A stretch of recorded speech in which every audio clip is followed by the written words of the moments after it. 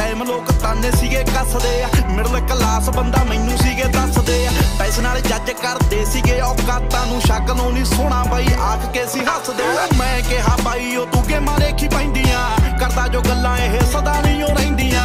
ਜੁੱਤ ਚਾਹੀਦੀ ਜੰਗ ਜ਼ਿੰਦਗੀ ਦੀ ਜਿੱਤਣੇ ਨੂੰ ਪੱਲਿਆ ਮਕਾਮ ਇੱਥੇ ਸ਼ਕਲਾਂ ਨਹੀਂ ਲੈਂਦੀਆਂ। ਉਹੀ ਹੋਈ ਗੱਲ ਰੀਤ ਦੁਨੀਆ ਦੀ ਚੇਂਜ ਹੋਈ। ਪੱਲੇ ਸੀਗਾ ਸਾਈਕਲ ਤੇ ਸਾਈਕਲ ਤੋਂ ਰੇਂਜ ਹੋਈ। ਮਾਰਦੀ ਐ ਗੱਲਾਂ ਸਾਲੀ ਦੁਨੀਆ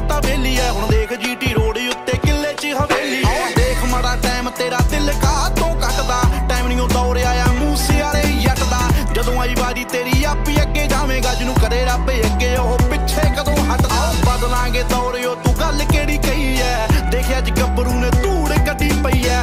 ਦੁਨੀਆ ਨੂੰ ਉਂਝ